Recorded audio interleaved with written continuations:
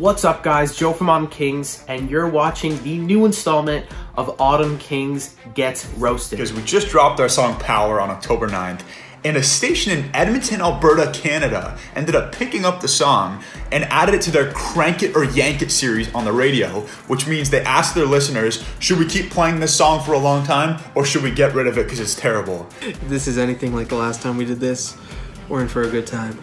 Number one, do you have a digital version of a shredder? If so, please use it on that file so we never have to hear it again. Hey, why don't you go f yourself, Dustin? Yank it! It's the bear rocks, not the bear rats. Yo, okay.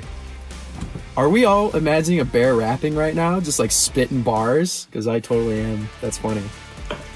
Yo, that'd be sick as fuck though. A bear rapping? Bear rocking would be sick too. Plus, I can't stand those whiny vocals. What are you talking about my whiny vocals for? Donna Barclay says, didn't even make it two minutes in. It's just not my thing. It's okay, Donna. It's fine. Check out Echo by Autumn Kings or Love Let Go from Autumn Kings, you know? Those might be your thing.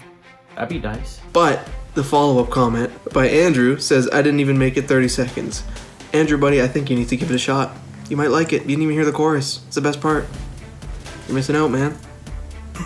Yank it! Getting tired of this rap rock BS. This song is brutal. Your fing grammar is brutal, buddy. I gotta be honest. Yikes, bro. the song is brutal. Like, brutally heavy? No, definitely not. Yank it. I don't tune in for bad rap music. This is a station that rocks, remember? Yeah, the bear, you fucking idiots. Don't you remember? Why would you play Autumn Kings? Terrible, terrible stuff. That's a great song for 91.7, Not the Bear.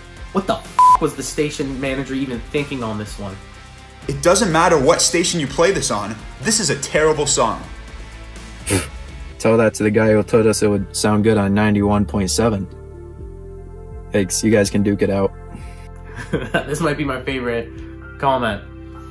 It's like a cross of Ho Hollywood Undead, spelled H O L L E Y, and Linking Park.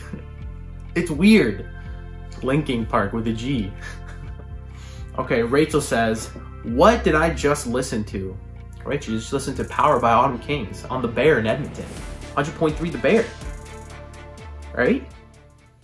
Caitlin says, I like it. Well, there you go. One positive comment. Thank you so much for tuning in to Autumn Kings Get Roasted Part 2.